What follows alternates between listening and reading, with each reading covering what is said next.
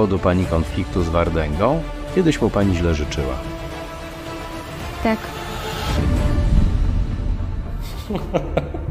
Dziękuję, koniec testu, spuszczam już powietrze. Teraz w trakcie tego testu o czymś pani pomyślała, coś pani sobie przypomniała. Pytanie na temat życzenia źle Wardędze. To o czym pani Ja się nic kurwa nie gniewam. Luz. Mi wiele osób źle życzy. Pomyślała?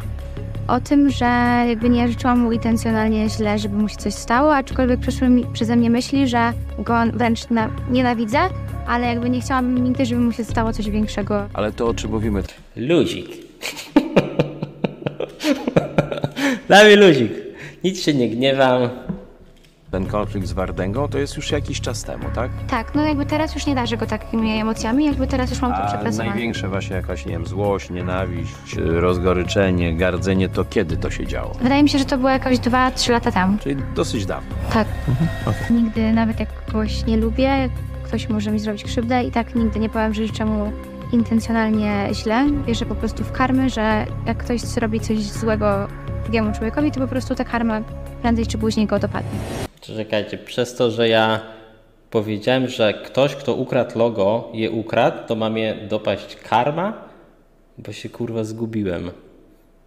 Mm, trochę dziwne. E, Ale spoko, no to już stare dzieje, nie?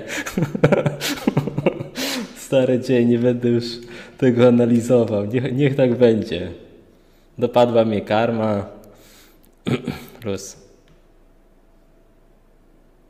Bo w sumie miałem sporo karmy przez w 2020, który jest 22. Więc można powiedzieć, że mnie dopadła, nie? Mieszkała ze mną wręcz.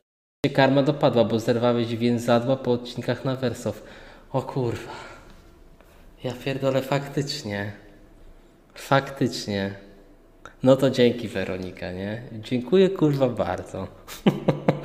tak to bym miał waleczki wygrane.